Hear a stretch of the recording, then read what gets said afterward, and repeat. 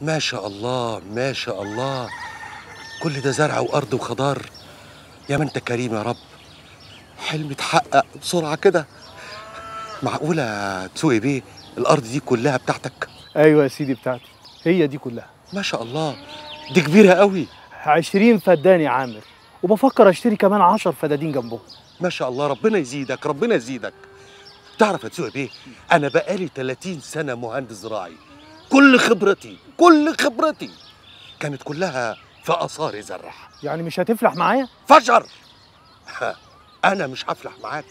بعد ما اديتني الفرصة الجوهرية دي ده أنا هتمرمغ في الطين ده دلوقتي. السلام عليكم. عليكم. السلام ورحمة الله وبركاته. ده المهندس عامر المشرف على المزرعة من النهارده. يا أهلا يا باشمهندس. نورت العزبة يا باشمهندس. شكرا.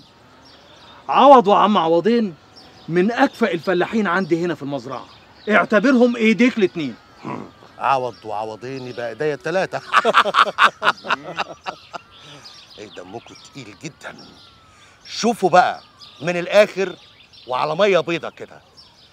أنا عندي مبدأ وسياسة في الشغل. فاهمين؟ زرع بكماوي عندي أنا no. خلاص؟ محاربة دودة عندي أنا no. سرطانة أكل عندي أنا no. فاهمين ولا فهمكم بطيء؟ جرى يا باشمهندس انت داخل سخن علينا كده ليه؟ ما تخفش يا راجل. المهندس عامر دمه حامي جدا وما بيحبش الغلط لكن قلب أبيض زي الحليب بالظبط. يابا يابا الحق يابا البقرة قطع اللبن ومش عارفة أحلبها إزاي. اتحشمي يا بنت يا سبع الله ده خابط خط وشي في ناس غريبة. فين ده يا يا ترى طبق القشطة ده عنده ايميل ولا ما عندوش؟ يلا يا عوض خد صبحه شوف الموضوع ده يلا. خاضر يابا جري قدام. يا بيه. جري.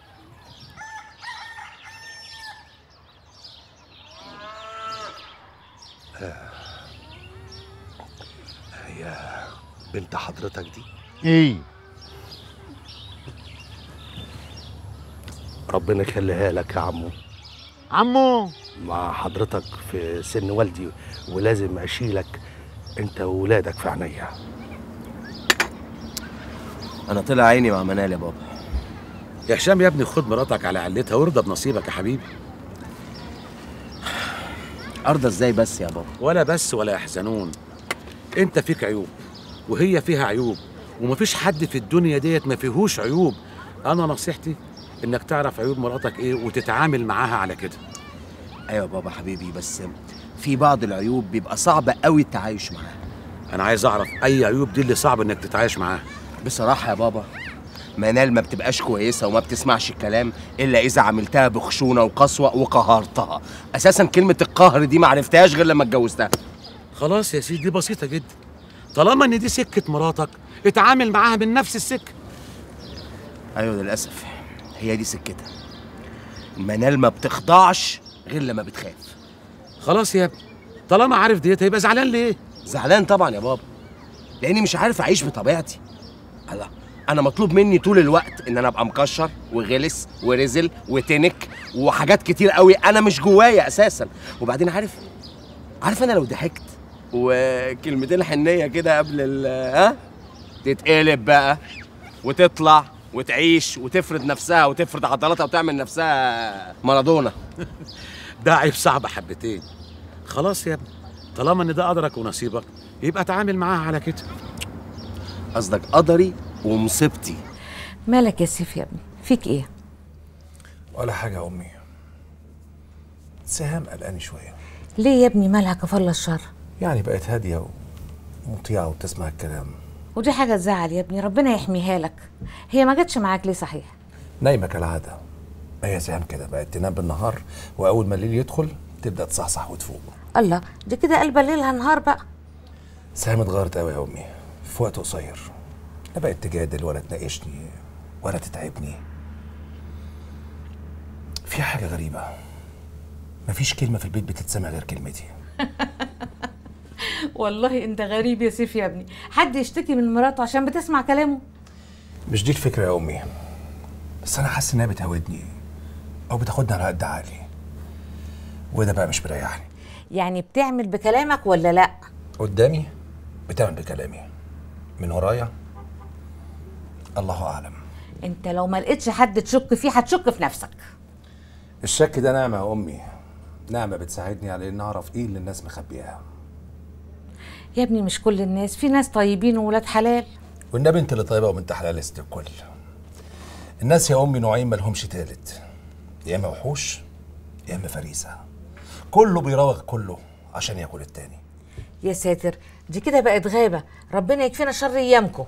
ويكشف لنا الكذاب وابن الحرام والضلالي. قولي أمين يا أم سيف أمين يا ابني.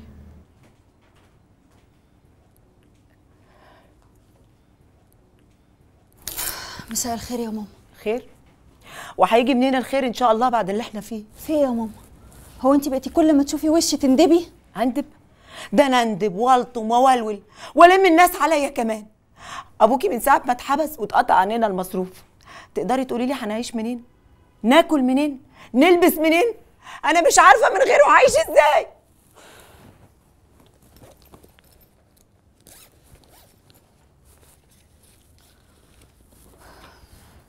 امسكي يا ماما. إيه دول؟ 500 جنيه. وهديكي زيهم كل أول شهر. ودول هيعملوا لنا إيه بقى إن شاء الله ببحر المصاريف اللي عندنا؟ يا ماما هي حاجة تسند. مع معاش جدي اللي بتاخديه من النقابة وربنا يسترها بقى. مش باين يا بنتي. يا ماما أنا مش فاهمة أنت بتعملي كده ليه؟ أمال لو ما كانش مطلقك من 15 سنة وكنتوا لسه متجوزين كنت هتعملي فيا إيه؟ ما تعودتش اغدر أو أخون. أبوكي كان عشرة عمري وكلنا مع بعض عيش وملح. والعشرة ما تهونش غير على ولاد الحرام. قصدك إيه؟ قصدي انك غلطتي يا عليا غلطتي لما فكرتي تسجني أبوكي. مش ده الراجل اللي رمانا وما سألش فينا؟ مش ده الراجل اللي ظلمك وراح اتجوز عليكي واحدة غنية واشترطت عشان ترضى تتجوزه إنه يطلقك؟ كل اللي بينا وبينه كان شوية فلوس عشان يسد بقنا. إيه يا ماما؟ نسيتي؟ نسيتي وقدرتي تغفري له؟ ليه يا ماما قبلتي تمدي إيدك ليه؟ ما كنت اشتغلتي ولا عملتي أي حاجة. إن شاء الله حتى كنت اتجوزتي ما رضيتش هجيب لكم جوز أم. خفت عليكم. كان كل همي إن أنا اربيكم أحسن تربية. وبعدين يا بنتي ده كان حقكم في فلوس أبوكم. أنا كنت بحافظ لكم عليه. وما تنسيش إن هو ما كانش مخليكم محتاجين أي حاجة. وعشت معاكم بفلوسكم وعلى حسكم وخصوصا بعد ما مات أبويا الله يرحمه. وبقيت لوحدي. لا يا ماما عمرك ما هتبقي لوحدك. أمال انت خلفتينا واديتينا عمرك كله ليه؟ مش عشان لما تكبري تسندي علينا؟ يا بنتي هو أنتوا عارفين تسندوا نفسكم علشان تسندوني؟ منك لله يا عاليه ربنا ينتقم منك. إيه؟ في إيه؟ أحمد خطيبي سابني بسبب قضية بابا. اهدي يا حبيبتي اهدي. اهدي يا نسا. اهدي يا حبيبتي معلش. بس يا حبيبتي بس.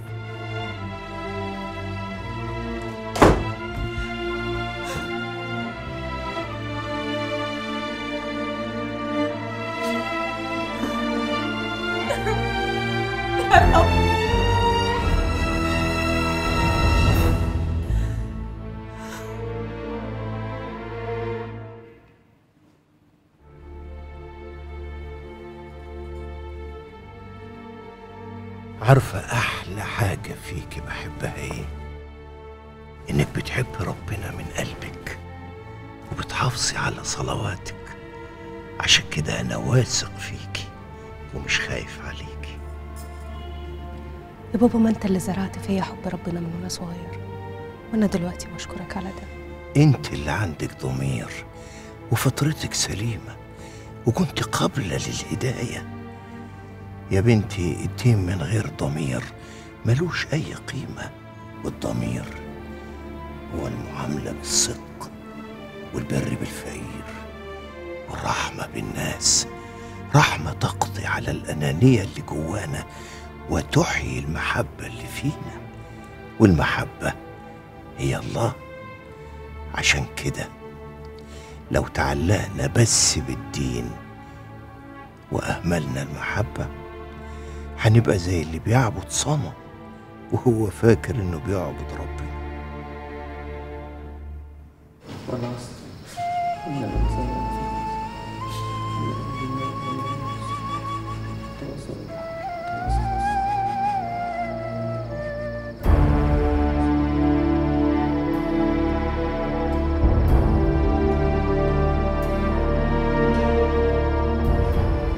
اسم باسم الصليب. إيه اللي بيعمله شريف بيه ده؟ خرج عن الملة؟ يا ده يا سودة. انما إيه الحتة ده مصالح؟ ده؟ آه. ده هارد يا غالي. اشتريته النهارده كده من واحد بربع الثمن ولسه هشوف فيه إيه؟ آه، دايما مرزق أنت مصالح. طب ما تورينا كده يا معلم. حبيبي يا غالي عيوني.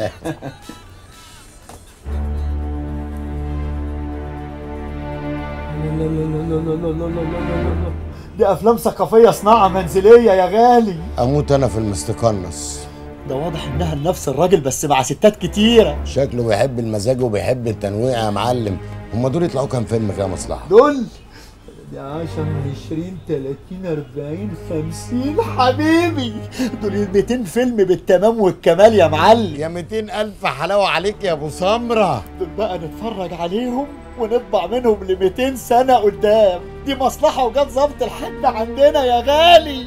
أموت أنا فيك يا أبو سمرة يا أبو المصالح يا مستقنص بصراحة يا دكتور أنا مش عارف ابتدي منين ولا أقول لك إيه. خير يا تدرس. أنت قلقتني لا من ناحية القلق الموضوع يقلق. دي مصيبة مصيبة. يا ساتر. ما تنطع حصل إيه شريف بيه. ماله؟ يظهر كده ان بلاد بره غيرت أخلاقه. أنا ما تتكلم في إيه؟ دخلت عليه لقيته بيصلي صلاة المسلمين. وفي إيه يا راجل؟ ده أنت خضتني افتكرت الحكاية كبيرة قوي ها؟ ودي مش كبيرة قوي؟ وأنت برضه تصدق إن ابني يعمل حاجة زي دي؟ أنا شايفه بعناية الاتنين دول. ده دور دور إيه ده؟ أصل شريف ابني غاوي تمثيل. وأكيد أنت شفته وهو بيتمرن على الدور اللي هيمثله في المسرحية. هيعمل دور شيخ مسلم. بقى الحكاية كده أيوه يا سيدي الحكاية كده. أمال أنت كنت فاكرها إيه؟ طب حس كده بقى. خليه يجيب لنا تذكرتين دعوة مجانية. نروح أنا والحرمه بتاعتي نتبسط شوية. نانسي أنا عارف ومتأكد إن انت حاسة بتأنيب ضمير كبير. بس معلش لازم تستحملي. ما هو يا ريت معلش دي ممكن تصلح حياته اللي خربتها. نانسي ده حاجة اسمها قدر ونصيب. هو أنتوا يعني كنتوا متفقين؟ عموما مش انت عارفة ومتأكدة إن آدم بريء. تأكدي كمان إن إن شاء الله ربنا هيثبت براءته. إزاي بس؟ وإمتى؟ دي حاجة بتاعت ربنا بقى يا نانسي. أنا صعبان عليا قوي أهله وحبيبته دي ذنبهم إيه بس؟ هيرجع لهم بالسلام وانت عشان خاطري لازم تهدي. أنا بفكر أروح لهم وأطمن عليهم. لا يا نانسي كله إلا ده. ما ينفعش. انت عارفة كويس إن هم أكيد متراقبين. مروحك اليوم هيأكد إن في علاقة ما بينكم. وده طبعا هيخلي البوليس يشك فيكي أكتر. ما هو أنا ما ينفعش أفضل قاعدة ساكتة. نفسي أحس إني بساعده أكتر من كده.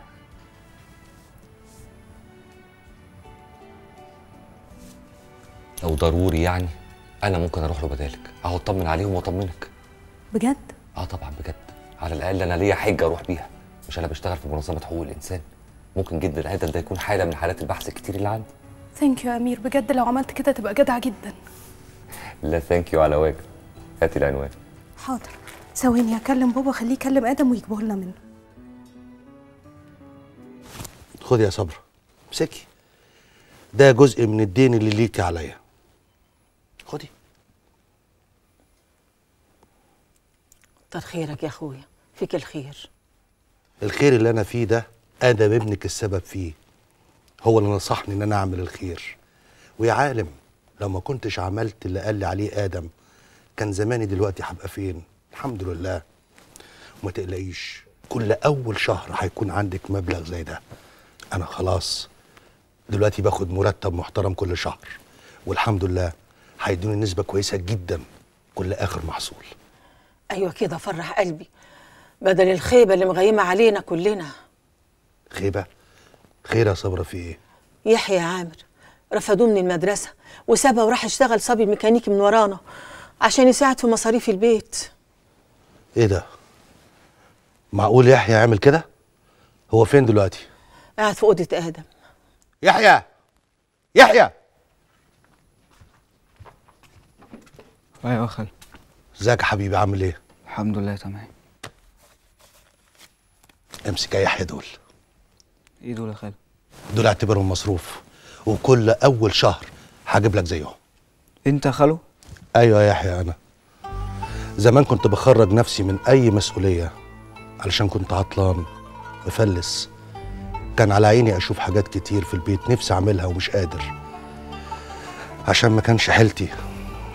وكنت بهرب بكلمة الخال حقل ومال إنما دلوقتي لا يا يحيى خلاص.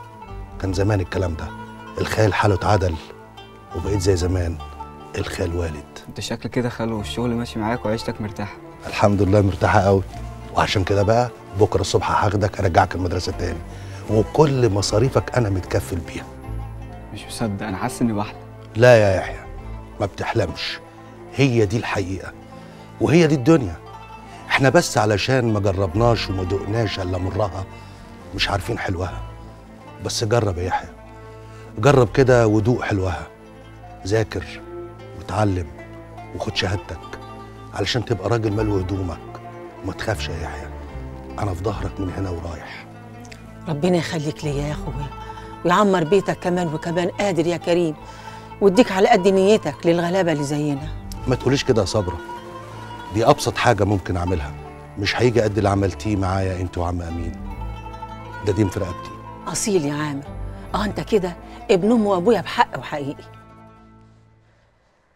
يا حبيبتي وحشتيني قوي أنت وبابا. لا حماتي كانت عندي بس ما استغناش عنك. آه كنت قاعدة أتكلم معاه مش عارفة الست دي ممكن تكون مامة سيف إزاي بس؟ ماما دي واحدة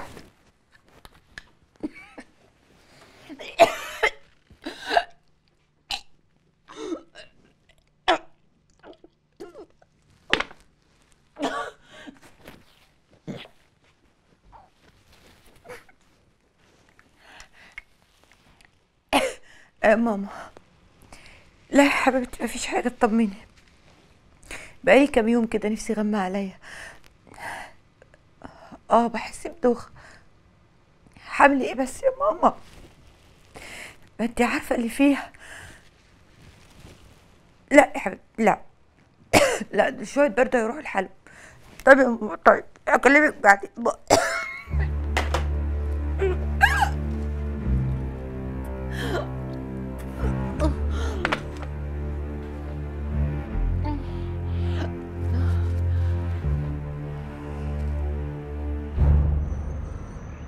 السفارة الأمريكية عاملة جايزة 100000 جنيه للي يرشد على آدم ومقدمة طلب للداخلية عشان ال CIA تتدخل في الموضوع. يعني إيه يا فندم؟ يعني هم يحققوا وإحنا نقعد في البيت؟ ده لا يمكن يحصل ابدا.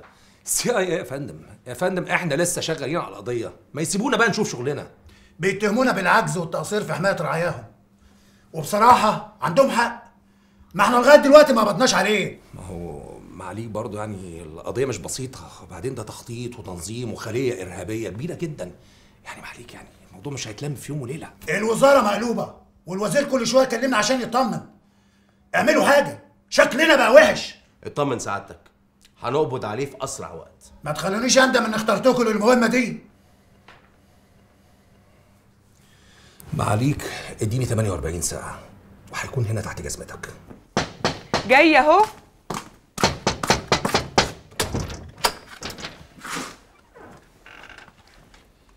مرزوق؟ أيوه يا بط وانت ليك عين تيجي تاني بعد اللي انت عملته؟ اتفضل امشي عايزه اقفل الباب. واكون عليك يا بطتي. يوه. بطة بطة يا بطة بنت يا بطة. مرزوق؟ عايز إيه يا مرزوق؟ آه يا حماتي؟ جاي تاني ليه بعد اللي عملته مع ابني آدم؟ يا حماتي والله العظيم أنا عبد المأمور. ولو ما كنتش عملت كده كان زماني مرمي في السجن. يا سلام يعني اشتريت نفسك وبعت ابننا. لا يا حماتي بالعكس أنا ما بعتش آدم. أنا عرضت نفسي للخطر علشانه ولو ما كنتش عملت كده كان زماني رايح في 60 داهية. طب أنت جاي ليه وعاوز إيه؟ طمعان إنك تصالحيني على بطة؟ أنا بحبها وهي بالنسبة لي كل حاجة وما أقدرش أعيش من غيرها. إزاي بعد اللي عملته مع ابني اللي هو أخوها تطلب مننا الطلب ده؟ والله يا حماتي أنا ما وحش ولو كنت وحش بصحيح كان زماني بلغت عنه وخدت المكافأة اللي سفارة أمريكا عاملاها للي يدل عليه. هي السفاره عاملة مكافأة اللي يقبض عليه؟ مئة ألف جنيه. أنت ما بتقريش جراد ولا إيه يا حماتي؟ أنا لو وحش بجد كان زماني مسلمه واخد المكافأة وبايعكم كلكم. إنما أنا بحب بطة وهي عندي بكنوز الدنيا. طب تعالى خش يا مرزوق. يا بطة بطة. أيوه يا اما كلمي أمك يا بطة. تعالي يا حبيبتي. سلمي على خطيبك. بعد اللي عمله ده كله يا اما ولسه بتسميه خطيبي؟ معلش يا حبيبتي مرزوق ما بعناش بالفلوس. هو كان مضغوط عليه. وده اللي خلاه يغلط. نص غلطة حماتي مش غلطة كاملة. علشان أنا زي ما بلغت عنه خليته يهرب. معلش يا حبيبتي عشان خاطري. اديله فرصة أخيرة. مرزوق راجل أصيل. وهو ضل راجل ولا ضل حيطة يا بنتي. حيطة؟ حيطة؟ مقبولة منك يا حماتي. معلش يا ابني حقك عليا.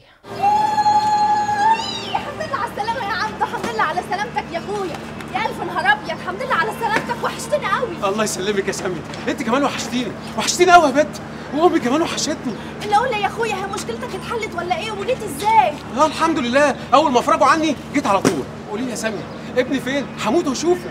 اسكت يا عبدو ده نسخة منك. في ضغوط من بره على الحكومة وعلى الداخلية. كمان؟ يا ابني ولا اتقتل شوية ده مواطن أمريكي. يا نهار أسود ومنيل يا جماعة الموضوع كل شوية عمال يكبر ويتعقد. أنا مش شايف له حل. ربنا يستر عليك يا عم آدم. بصوا بقى أنا شايف الحل الوحيد إن إحنا نهربه بره مصر. طبعا مش ده الحل لأن اللي عايزينه بره مصر نفوذهم اقوى ألف مرة. آدم طول ما هو موجود في وسطنا متحامي فينا مهما تعرض لظلم. ما إحنا مش خايفين عليه غير من الظلم. يبقى لازم نبدأ نشوف طريقة يظهر بيها براءته. إذا كان البوليس نفسه مش عارف يظهر براءته. لأن البوليس مركز في خط واحد إن هو يقبض على آدم لكن مش مركز إن هو يلاقي السارق اللي سرق ال hard اللي عليه الفيديو اللي فيه براءته. إحنا بقى لازم ندور على السارق ونلاقي ال hard ونظهر براءة آدم هو حل صعب لكن ما قدامناش غير كده. هو حل كويس قوي. هو إحنا زي ما فكرناش في الحل ده قبل كده؟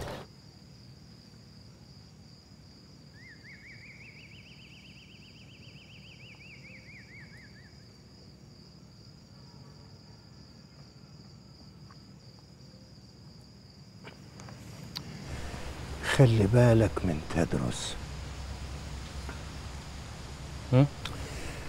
بقول لك خلي بالك من تدرس. خليك حريص معاه في الكلام. ليه هو حصل حاجة؟ آه اصله آه، شافك وأنت بتصلي. لكن أنا قلت له إنك أصلا غاوي تمثيل وبتتمرن على دور شيخ مسلم يعني في المسرحية. مش عارف من غير كده كنا هنعمل إيه. تفتكر الكلام ده هو صدقه؟ لا ده راجل طيب وبيصدق كل اللي بقوله له. عموما يعني ما تيجي تصلي. ابقى اقفل الشباك والشيش كمان. حاضر. وبعدين انت بتغيرش هدومك ليه؟ ما جاتش على مقاسك؟ لا جت على مقاسي وبعدين كمان الأكل ملوش علاقة بالزعل. بص يا أخي حوالين عينيك وأنت تشوف لازم تاكل عشان تعرف تفكر معانا. أنا هقطع لك تفاحة بإيدي. جراية عاطف. مالك كده بقيت دبلان ومش زي عوايدك؟ تعبان يا شوقي كل ما أفتكر اللي حصل أتعب أكتر. يوه. ما قلت لك تنسى وتعيش اللحظة. أنسى إزاي بس يا شوقي؟ وأنا في كل لحظة بفتكر اللي حصل بتوتر أكتر. يا ساتر ده أنت طلعت خيخة خيخة قوي معلش يا شوقي ما أنا برضه أول مرة أشوف قتيل عيني عينك كده وش؟ يعني أنا اللي قتل قتلة؟ ما أنا زيك أول مرة أشوف قتيل. معلش يا صاحبي صوابعك مش زي بعضها برضه. ما علينا. بقول لك إيه؟ إيه؟ الهارد أنت شايله في حتة أمان؟ في الدرج عندك هناك أهو. يا دي المصيبة السودة. ما علينا. أنا بقول إن إحنا نحرقه ونخلص منه. اعمل اللي أنت عايزه يا شوقي وخلصني. مش ده الدرج اللي تحتيه؟ مفيش حاجة يا عاطف. في الدرج عندك يا شوقي أنا ما لمستوش. مفيش hard يا عاطف. أنت بتقول إيه؟ مفيش hard يعني إيه؟ أنت بتهرج. أنا اللي بهرج برضه. ال hard فين يا عاطف؟ والله ما أعرف. يعني مين اللي يعرف؟ يا دي المصيبة. هيكون مين اللي خده؟ مش عارف. يعني إيه مش عارف؟ قاعد هنا طرطور مش عارف مين خرج ومين دخل. ما أنت عارف يا شوقي حبايبي كتير وبيحبوا يجرشوا عندي. زي ما أكون في محطة مصر يا جدع. الله يحرقك أنت وحبايبك. في يوم واحد. ده كريم صاحبي يا دكتور اللي أنا كلمتك عنه كتير. دكتور جورج غطاس.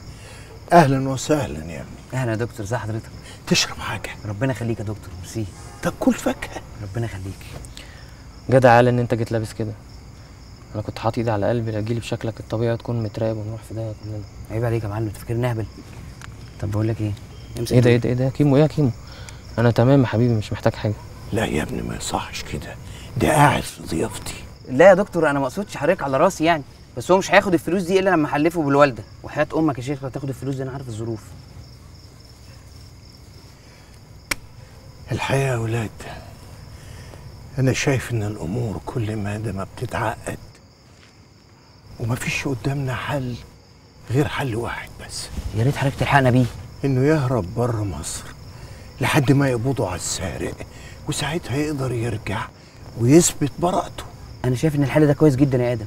أنا ممكن أساعدكم إن إحنا نجيب باسبور مضروب عشان نعرف نهربه. إيه الحل ده يا جماعة؟ وأقضي عمري أنا بقى هربان ومتغرب عن بلدي وأهلي؟ نهربه؟ نهربه فين؟ وإزاي؟ في واحد صاحبه اسمه كريم هيدبر الحكاية دي.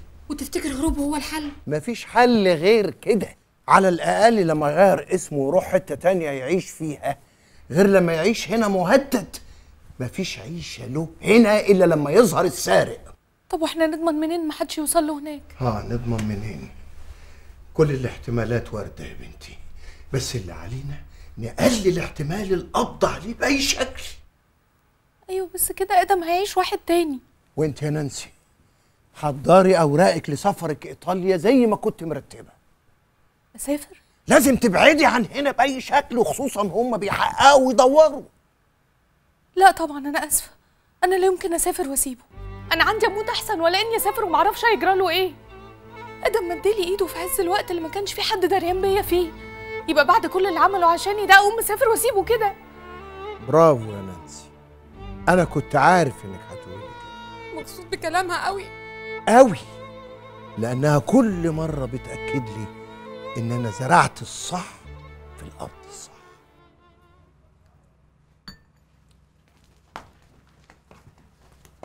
هشام أنت مش وعدتني أنت توديني اسكندرية في ال weekend معلش يا حبيبتي جدد ظروف ومش هينفع اسفركم يعني حتى يومين الأجازة يا شيخ عايزني أفضل مرزوعة في البيت ما بين أربع حيطان لوحدي. يا ستي ما أنت عندك بنتك. اتسلوا مع بعض في أي حاجة. وبعدين يا منال أنا قلت لك 100000 مرة قبل كده أنا ضابط شرطة. شغلتي دي ممكن تبقى في الأجازات في الأعياد في المناسبات عادي. بس أنا زهقت. معلش يا منال سلي نفسك بأي حاجة. وأنا أوعدك يا ستي إن أنا أول ما هفضى هاخدكم ونسافر على طول. خلاص هروح بكرة أخد البنت من الحضانة ونطلع على النادي نقعد شوية. ده كلام. بقى البنت تبقى راجعة تعبانة من الحضانة وعايزة تاكل وتنام. تقوم انت تاخديها تهلكيها في النادي. خلاص هبقى اوديها لماما تتغدى وتنام وأروح اقابل صحابي شوية. قلت لا يعني لا.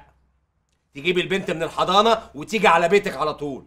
مش فاهمة يعني هو انت حابسني ولا إيه؟ طالما هترجعي لاستهتارك تاني يا منال هحبسك. وهحبسك حبس انفرادي كمان. هو شم الهوا عندك بقى استهتار دلوقتي يا هشام؟ شم الهوا دوت بيبقى في آخر الأسبوع في يوم الأجازة. هتروحي النادي في وسط الأسبوع تعملي إيه؟ ما أنا طول الأسبوع في أجازة. هو أنا ورايا شغل ولا مشغلة يا شيخ؟ انت اللي مديه لنفسك اجازه. انما لو ركزتي مع جوزك وبنتك مش هتلاقي وقت حتى تنامي. يا حبيبي أنا برضو مركزة بس مفيش فايدة. عندي وقت فراغ. أوه. اشغليه باي حاجة يا منال وخلصيني. طب إيه رأيك يا حبيبي لو ادور على شغل؟ أهو منه اسلي نفسي ونزود دخلنا. هو أنا اشتكيت لك؟ يا حبيبي من غير ما تشتكي لي أنا حاسة بيك. وبعدين كده كده أنت في الشغل والبنت في الحضانة. وأنا قاعدة في ملل هيموتني. طيب وهتشتغلي إيه بقى ببكالوريوس التجارة؟ أبو تقدير مقبول. هم؟ ده في ناس واخدين الدكتوراه بامتياز مع مرتبة الشرف ومش لاقيين شغلانة. هو في شغل في اليومين دول؟ يا حبيبي أصل أنا جاي لي عرض شغل مع صاحبتي منى في شركة باباها. ده أنت مرتباها بقى؟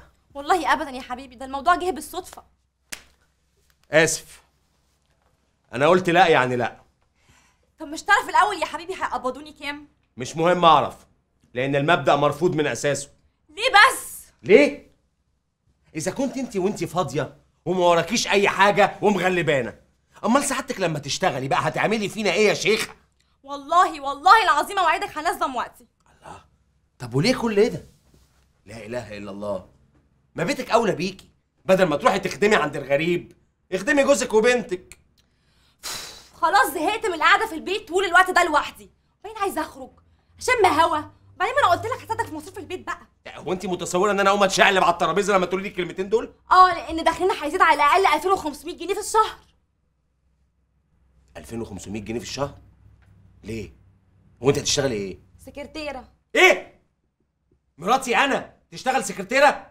يا حبيبي مش أي سكرتيرة. سكرتيرة رئيس مجلس إدارة. يعني مش أي حاجة. وبعدين المواعيد معروفة. من 9 ل 4 ده غير البدلات والحوافز. يعني ممكن دخلنا يوصل ل 3 4000 جنيه في الشهر. سكرتيرة ب 4000 جنيه في الشهر؟ ده أنا نفسي ما باخدهمش. يا حبيبي أصلها شركة استثماري. استثماري؟ طب وبنتك؟ هتعملي فيها إيه إن شاء الله؟ مفيش هتفق مع ماما إن هي تعادي تاخدها من الحضانة. وأنا أول ما أخلص شغلي هروح أجيبها بسرعة وأروح على بيتي. طب وليه الشحطاطة دي كلها؟ كل ده عشان كام ملطوش أول كل شهر؟ أديك قلت إن أنت ما بتعرفش تحصل كام ملتوش دولت. مش عاوزهم. ليه بس يا حبيبي؟ ليه؟ أقول لك أنا ليه. لأن عشان أحصل الكام ملطوش دولت هخسر مراتي وهقطع من راحتي وراحة بنتي وأحرمها من أمها 8 ساعات كل يوم ما يتقدروش بتمن. ده غير إن أنا أساسا مش عاوز الفلوس دي. ما يلزمونيش. يا حبيبي أنا كده كده ببقى قاعدة زهقانة الثمان ساعات دولت. أنت بتبقى في الشغل والبنت بتبقى في الحضانة وأنا ببقى هموت من الزهق. بس لما بنرجع بنلاقيكي مستنيانا. بنلاقي دفى في البيت. لكن ساعتك لو رحتي اشتغلتي هنيجي ناخد برد لأن الشقة هتبقى فاضية. ونفسك مش فيها. أنت بتهزر يا هشام؟ ومين قالك إن أنا بهزر يا منال؟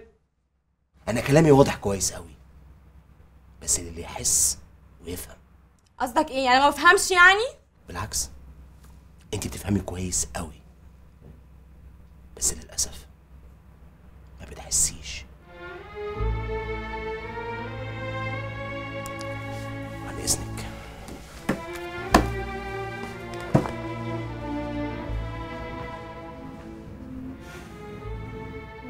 عايشه طفله اسمي الدكتور أمير وجاي لكم من طرف آدم ابنكم. آدم؟ أنت تعرف حاجة عنه؟ استني بس يا سامي اما نشوف الراجل عايز يقول إيه. أنت تعرفه؟ طب هو عايش إزاي؟ عايزك تطمني يا حاج. آدم بخير الحمد لله وبيقول لك ادعي له. كتر خيرك يا ابني. أرجوك تبلغه إن هو وحشني قوي ونفسي أشوفه. أرجوك خليه يكلمني. حاضر يا حاج. ربنا يخليك لوالدتك يا ابني ولا يحرمهاش منك ابدا.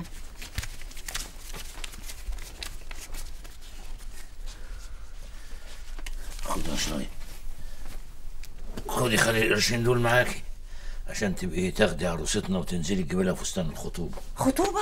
آه خطوبة. خير البر حاجيله يا بنت. قال يعني تلحقي تتخطبي لك شهرين انت والديسي بعد كده كاتبة الكتاب والدخل على طول. بالسرعة دي؟ أيوه بالسرعة دي. هنستنى إيه؟ العريس جاهز وكل حاجة متوفرة. أيوه يا بابا بس بس يا بنت.